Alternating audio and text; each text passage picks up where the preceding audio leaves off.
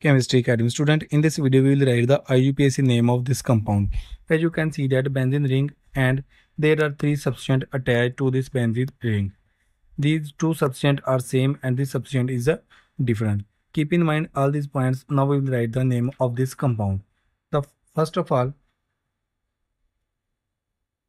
these two substances are called diethyl. Both are same, so it's called diethyl, ethyl diethynyl. Diethynyl diethynyl if double bond is not present then this substance is called diethyl. But this substance contain double bond so diethynyl diethynyl.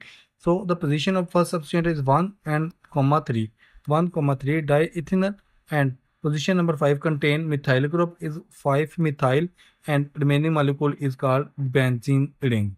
So the full name of this compound will be 1 comma 3 diethynyl 5-methyl benzene. I hope that all the students understand how to write the name IUPAC name of this compound.